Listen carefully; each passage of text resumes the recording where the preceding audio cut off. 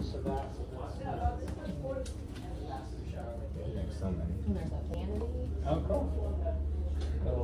Oh, wow. Is this master bedroom? No.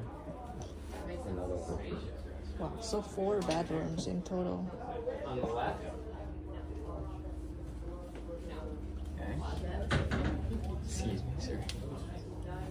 Oh, one. Just one more thing for someone to screw up.